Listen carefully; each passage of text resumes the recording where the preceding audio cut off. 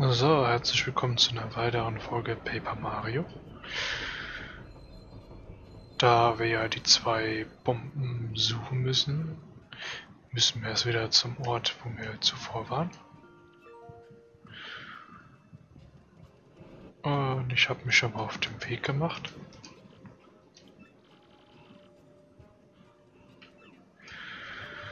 Hier nach diesem Bad Glimmerisch.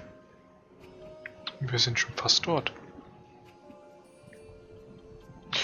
Und ich habe mir mal in Google ein Bild rausgesucht von der Bombe, wo welche die zweite ist, der General.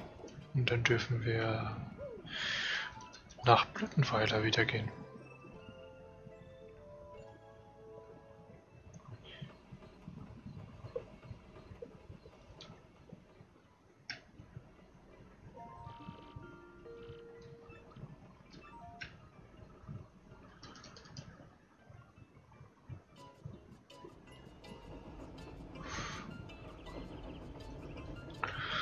Müssen wir nur noch den goldene Bombe finden.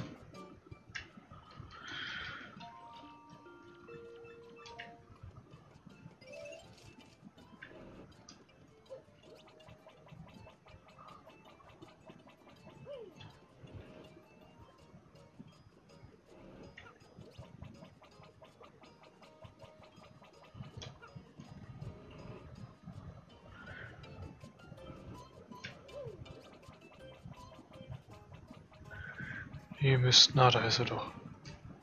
Hallo Bomba, weshalb bist du diesmal hier? Was? Du baust die große Kanone in Großfrostheim, um die Welt zu retten? Hm, so sieht es also aus. Na gut, du hast uns schließlich auch viel geholfen. Eigentlich wollte ich die Kanone schon lange wieder in Betrieb nehmen. Aber bitte, erzähl das noch niemanden. Meine Frau hat die Kanone immer zu viel Lärm gemacht, deshalb habe ich aufgehört. Aber man braucht sehr viele Münzen, um die Kanone betriebsbereit zu machen. Ich möchte sehen, wie viel es dir wert ist, die Kanone zu benutzen. Kurz gesagt, wie viele Münzen wärst du, würdest du ausgeben, die Kanone zu benutzen? Ich würde alle meine Münzen geben. Was? Du willst alle deine Münzen ausgeben? Ja. Ich hätte nie gedacht, dass du das sagen würdest. Wenn du alle deine Münzen dafür ausgibst, hast du keine einzige mehr. Ist dir das klar? Ja. Aber wenn du alles ausgibst, dann wirst du bestimmt bereuen. Bist du ganz sicher? Ja. Wirklich. Bist du dir bewusst, wie viel deine Münzen wert sind? Ja. Soll ich dir wirklich alle deine Münzen nehmen? Bist du ganz sicher? Ja. Also wenn das so ist, Du hast es bewiesen, dass es dir ernst ist. Na gut, ich gebe dir die Erlaubnis. Daneben, das war natürlich ein Witz. Ich will von dir keine Münzen dafür. Schade, aber hier hast du deine Münzen. Also dann viel Glück.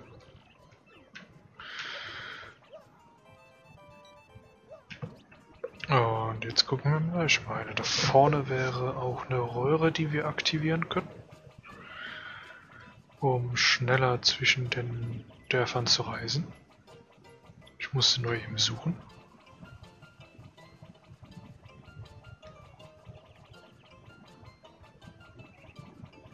Ist ein Licht hier?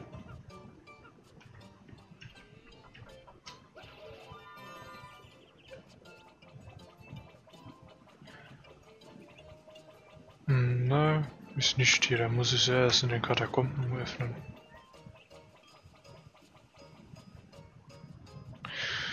Ich werde jetzt hier dann aber einen kurzen Cut reinsetzen, weil das ist jetzt nur Lauferei. Und dann sehen wir uns wieder, wenn ich an der Röhre bin zum, zur, wie heißt es nochmal, Blütenweile. Dann bis gleich. So, und da sind wir auch wieder habe hier in den Katakomben jetzt ein paar Röhren freigeschalten. Die müssten uns um einiges helfen. Jetzt muss ich nur gucken, durch welche Röhre wir gehen müssen. Ich meine, die müsste jetzt nach Bad Glimmerich führen. Genau.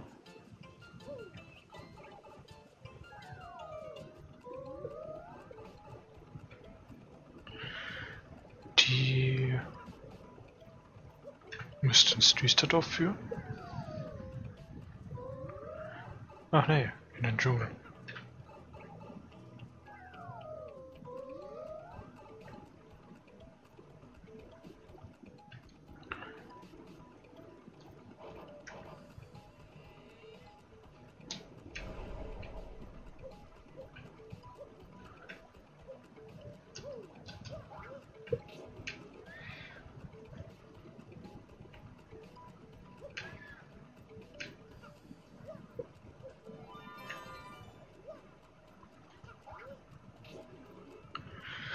Dann müsste die links jetzt aber nach Düsseldorf führen, wenn ich mich nicht täusche.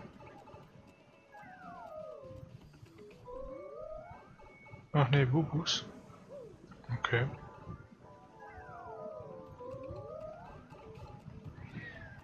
Dann müsste das hier vorne aber dann der Blütenwald sein.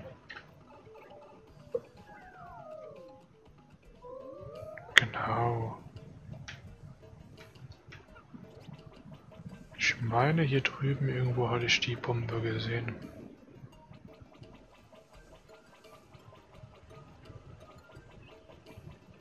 Ja, der hat doch hier gestanden, er hat gewandert.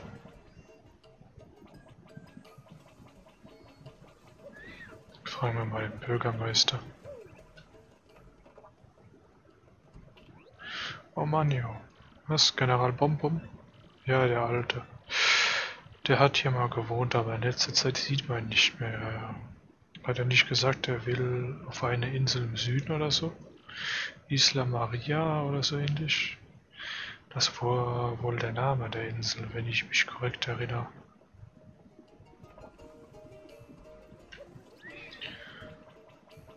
Isla Maria, klar.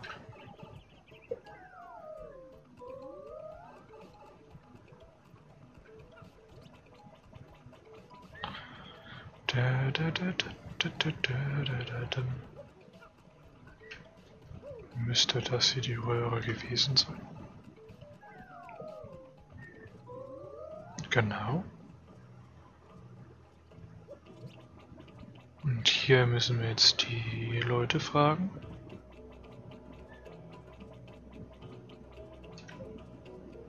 General Bombom, der war bis eben noch hier. Ist aber dann verschwunden hat noch etwas gesagt von wegen Arena oder so. Also, jetzt dürfen wir nach Falkenheim.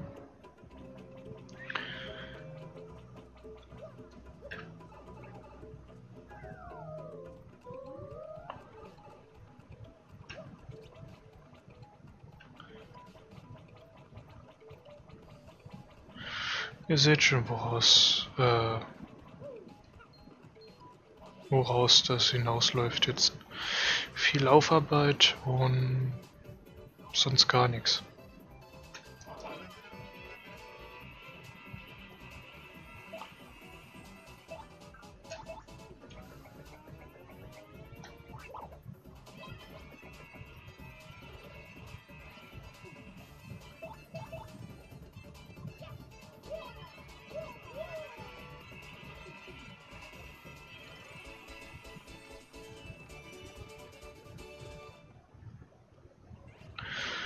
Ich werde dann hier auch eine kurze Zeitraffer machen, bis wir in Falkenheim sind.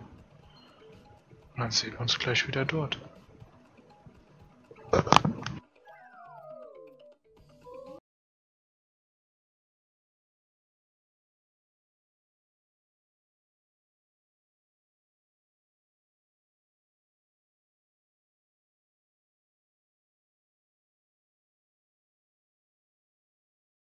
Sind wir auch in Falkenheim. Jetzt müssen wir gucken, wen wir ansprechen können für den General Bombub. Vielleicht die Ratte hier draußen. Maus.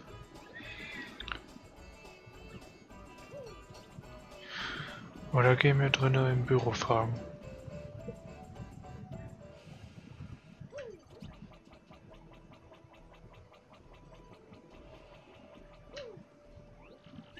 Hey, du bist doch der ehemalige Ciampompa Luigi, oder? Torcor ist jetzt die Managerin. Wenn du mit ihr sprechen willst, findest du in ihrem Büro hinten. Jetzt weiß ich, du willst wieder kämpfen. Oh Mann, das ist ja super. Nee, kämpfen muss nicht sein. Ich möchte nur mit der Chefin reden. Was? Du willst wieder kämpfen? Das freut mich. Bitte geh ins Büro. Tutskova ist eine Managerin. Wir würden sich freuen.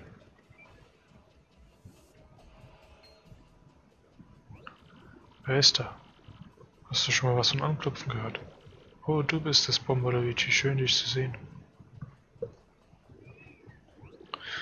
Nachdem du Meister gut abgelegt hast, ist die Zuschauerzahl sehr gesunken. Ich dachte schon, wir müssen das Geschäft aufgeben, aber Aurelius hat sich wieder den Titel des Champions erkämpft. Ich habe ganz schön damit zu tun, den Laden hier zu leiten. Oh, willst du vielleicht wieder kämpfen? Oh, deshalb bist du hier? Ja, bestimmt. So ist es doch, sag schon. Hehe, super, ich wusste, dass du wiederkommen würdest. Das ist alles für dich vorbereitet, oh.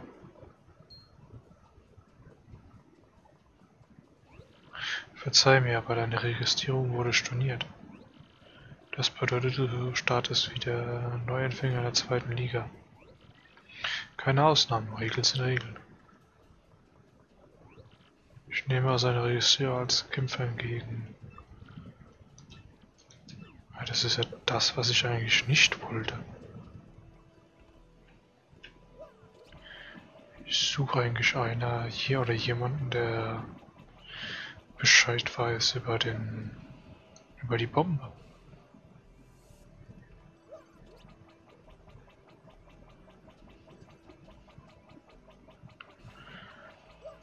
Vielleicht in der Bar da draußen.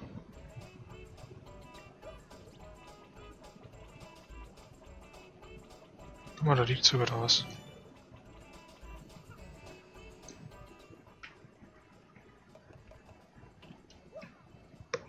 General Pompop? Ach, ich weiß, diese weiße Bombe. Der war schon oft hier, aber in letzter Zeit habe ich ihn nicht mehr gesehen, jetzt wo du es danach fragst. Er hat etwas über einen großen Baum erzählt. Gut, dann sehen wir uns gleich wieder, wenn ich bei den Bubus bin. Die nächste Zeitraffer.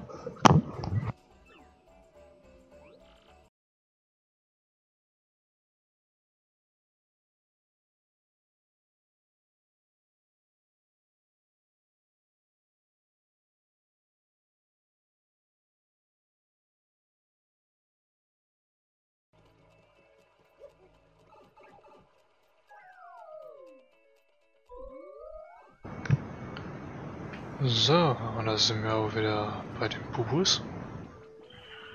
Gehen wir mal die Älteste fragen, ob sie was von der Bombe Bescheid weiß.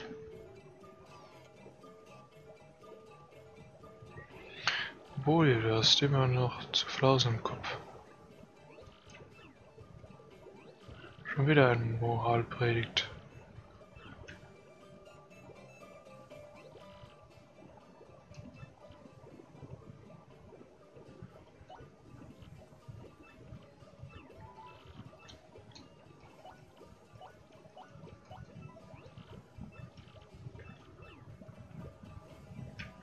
Weiß keiner hier Bescheid?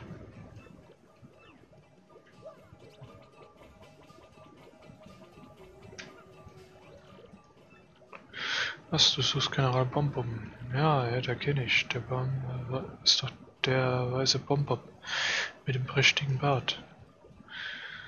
Aber der ist nicht mehr hier. Er wollte an irgendeinem ziemlich düsteren Ort. Gut, jetzt geht's ins Finsterdorf. Bis gleich. Machen wieder eine kleine Zeitraffer.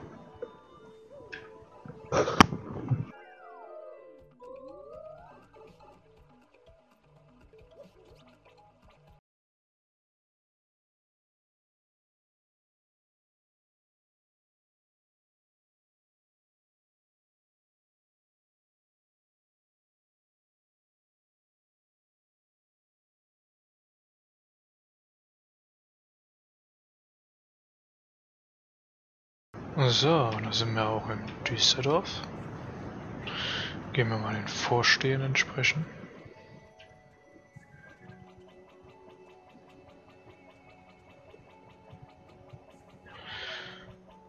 Der war, glaube ich, hier im Haus, oder? Ne? Da müssen wir kurz suchen.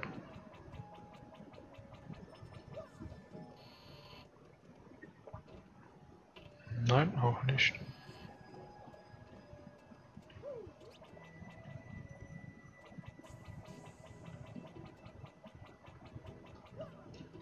Aber hier hat er. Ah, da ist er doch.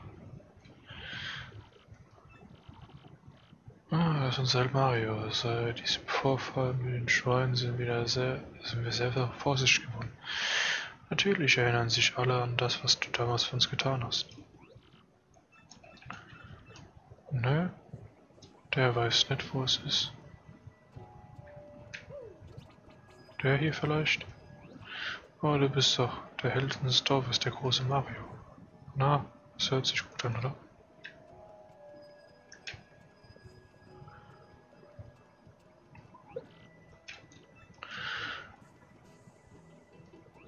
Was?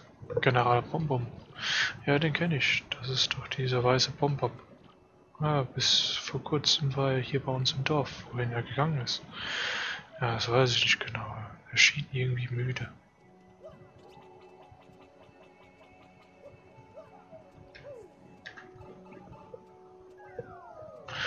Er schien müde.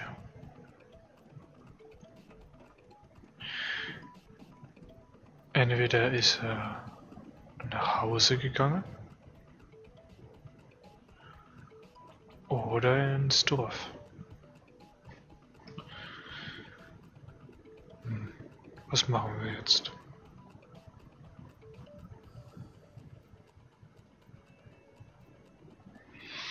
Wir versuchen es mal mit dem Großfrostheim.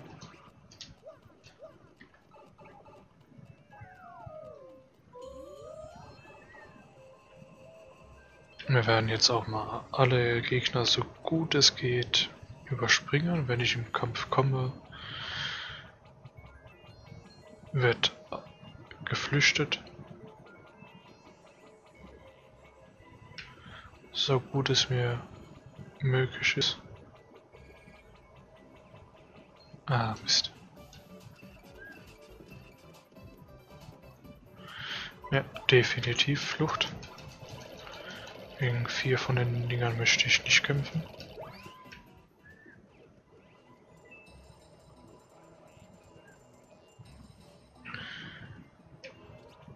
So, dann gucken wir mal. Ob das sein Haus ist? Nein.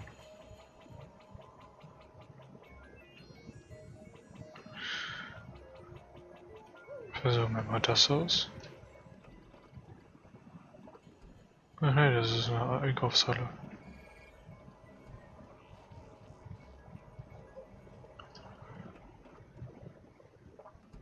Guck mal an, da schläft er.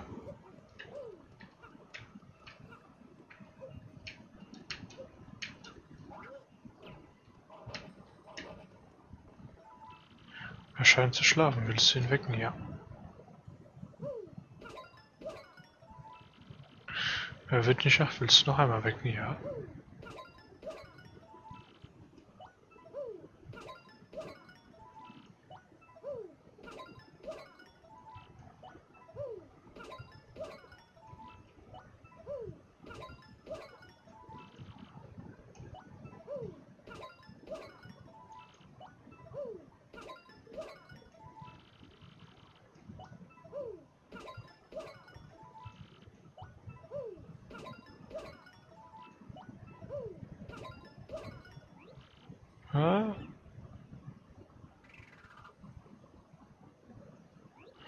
Was ist denn los?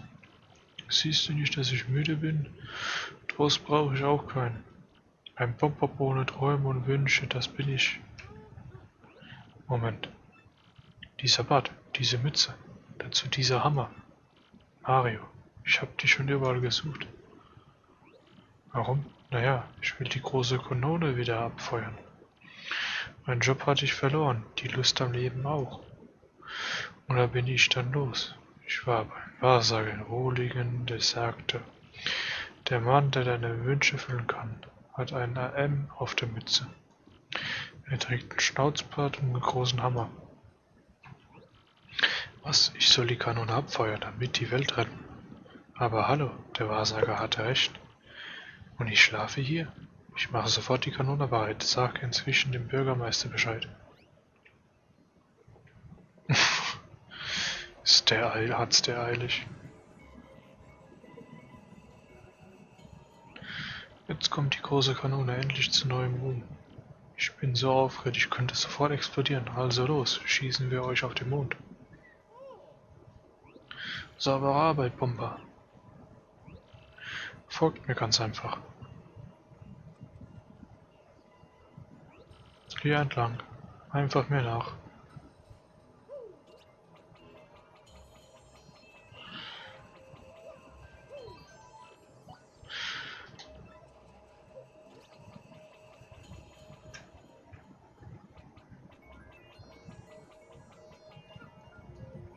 In Ordnung, stell dich dahin.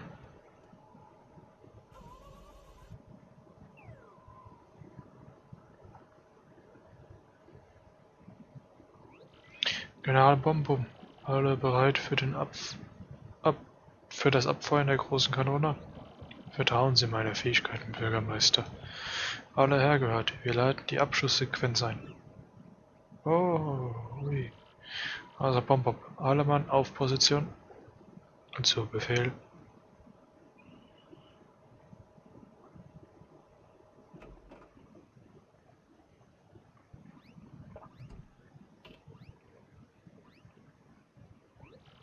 System starten. Bestanden. Starte System.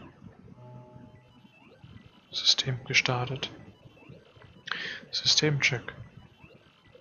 Systemcheck läuft. System einsatzbereit. Vorbereitung für Abschuss der großen Kanone beginnt ab jetzt. Außentor öffnen.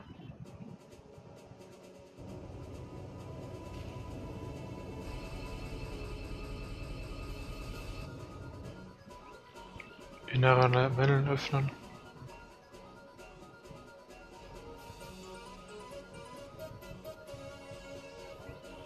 Kanonenrohr ausfahren.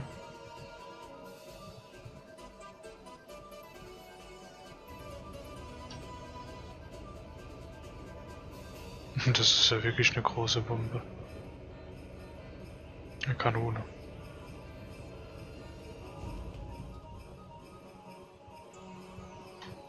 Alles klar. Zielerfassung.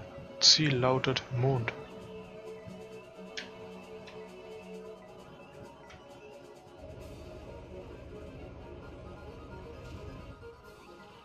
Ausrichtung 75 38, Neigungswinkel 75,66, Entfernung 389, 603.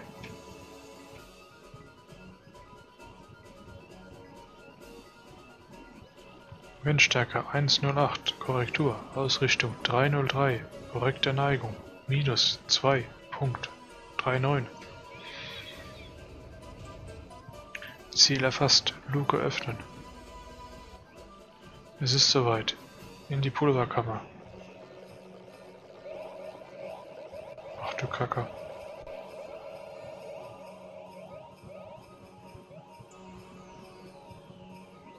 Luke schließen.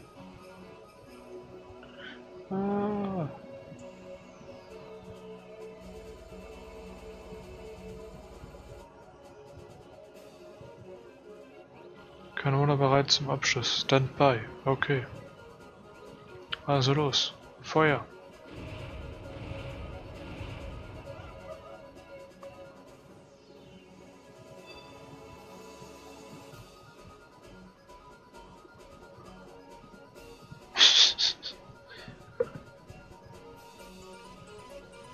Viel Erfolg, Mario.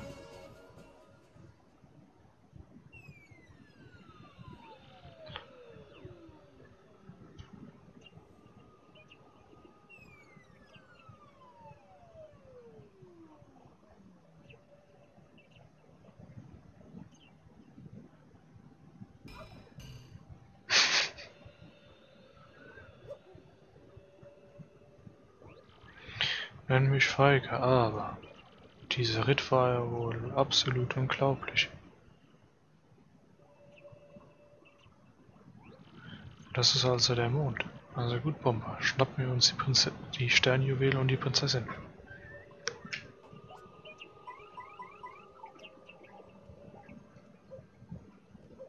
Sieht hier so rissig aus. Dann gehen wir doch da mal hin.